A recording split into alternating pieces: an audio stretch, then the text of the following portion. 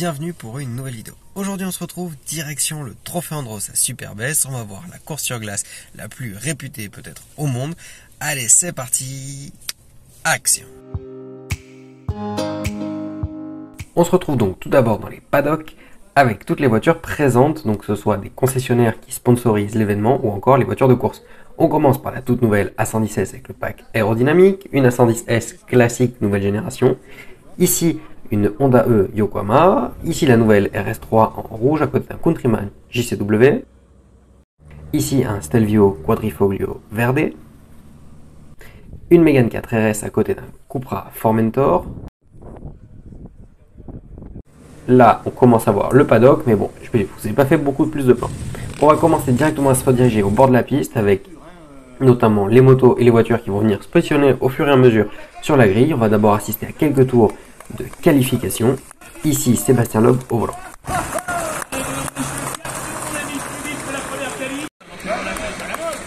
Ici, une Renault Zoé.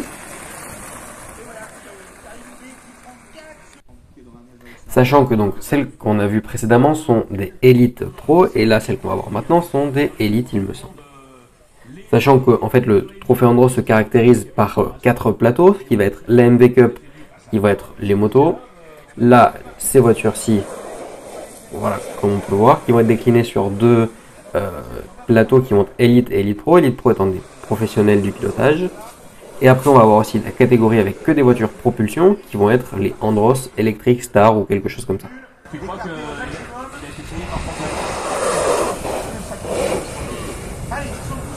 Comme on peut voir, il n'y a quand même pas beaucoup de neige, pourtant on est qu'au début d'après-midi.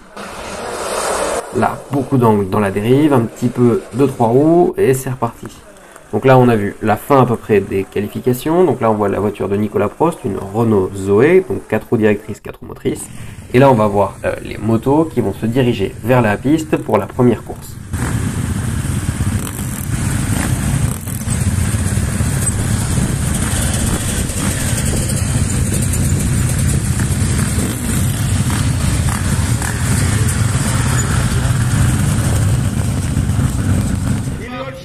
Va assister au départ.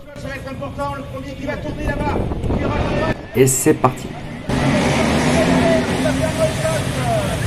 On voit les grosses attaques, pas trop trop de glisse sur ce départ. Ça passe sans accro, visiblement pour l'instant pas d'accident.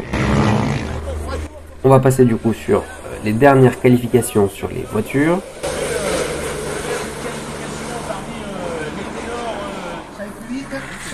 Hop, beaucoup, beaucoup de dérives. Malheureusement, c'est compliqué de l'entretenir vu que là, on est quasiment sur du bitume. Là, on voit encore Sébastien Loeb qui réussit à lui maximiser le grip, sachant qu'il venait juste de sortir à ce moment-là du Monte Carlo. Là, du coup, c'est avec des conditions très changeantes, puisqu'à chaque tour, il y avait un peu moins de neige, étant donné qu'il faisait assez chaud pour voir euh, la saison. Donc c'était une perpétuelle remise en question du pilotage et euh, des trajectoires à utiliser et l'angle de dérive à mettre. Là on va accéder à la première course. Ici donc ça va être les élites. Donc euh, la première catégorie de voitures 4 roues motrices, 4 roues directrices.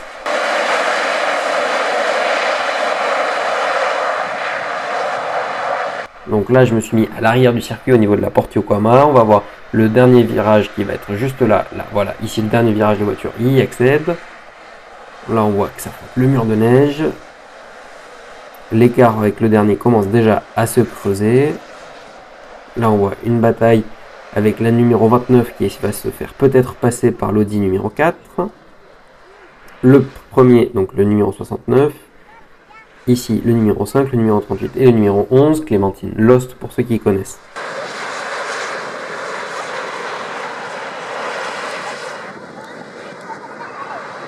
Bon, vous l'aurez remarqué, c'est uniquement des véhicules électriques. Pourtant, malgré tout, la performance est quand même au rendez-vous. Euh, il y en a plein qui sont déçus de ne plus avoir le son du thermique, mais je trouve que c'est quand même assez impressionnant de voir les voitures électriques avec le couple qu'elles développent et du coup les bons qu'elles font de virage en virage.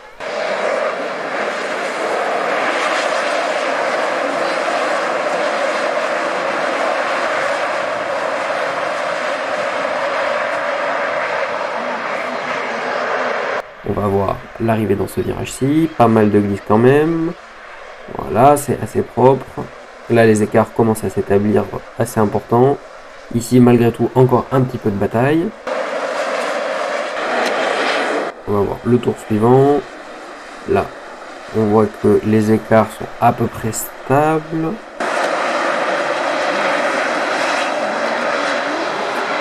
C'est bien qu'on puisse voir un dépassement en caméra. Là, ça va être un petit peu court. Le premier a pris pas mal d'avance. L'Audi est un petit peu loin aussi.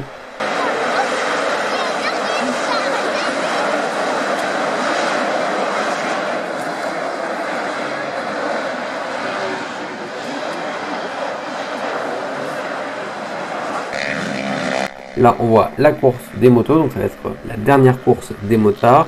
Je tenais quand même à vous le montrer, même si on n'est pas forcément sur une chaîne spécialisée de moto, parce que je trouve ça assez impressionnant. Alors là, peut-être moins, vu qu'il y a moins de glace, mais on est quand même sur une logique quand même du super motard, et on voit ici quand même de la glisse et de l'attaque dans les virages, et donc euh, pas mal de gestion de pilotage.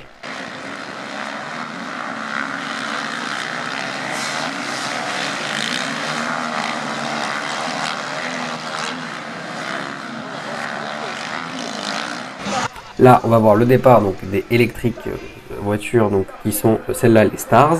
Donc, on va retrouver euh, notamment Renault Lavillenie pour les Clermontois. On va encore trouver Tomer Cisley, donc un acteur assez connu, ou encore d'autres pilotes qui sont classés célébrités. Ici, on va voir le plateau donc, des élites qui va venir se placer. Donc là, ça va être pour euh, la course finale de la catégorie.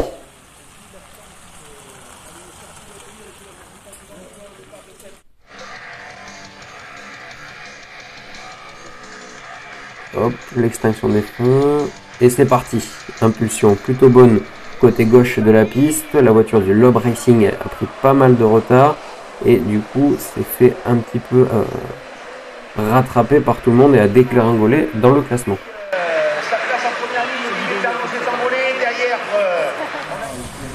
Et du coup, je vous filme la fin de la course, puisque pour ceux qui veulent aller voir la course, il faut aller voir la rediffusion directement sur Canal+.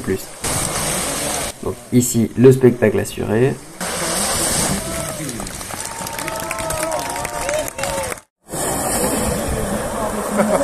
On voit aussi celle du Lob Racing qui fait le spectacle, sachant qu'il faut rappeler que Superbest cette année est la dernière manche de la saison.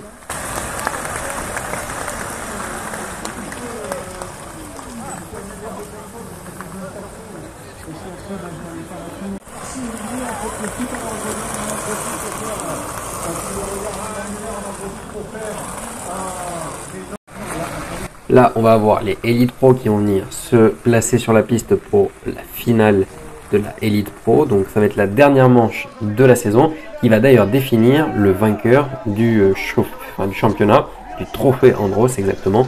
Donc il va être le champion de l'année. L'extinction des feux va être quasiment là. Ça y est, les feux sont éteints. Bonne impulsion. Toujours le côté gauche là où il y a moins de neige où on va voir les voitures qui prennent une meilleure impulsion. Quelques accrochages, ça va venir se pousser entre l'Audi et euh, la Zoé euh, de, du Cubo Racing. Et là, du coup, euh, la fin qui va être donc voir avec la Sébastien Loeb. Ici, on va voir la Nice Métropole.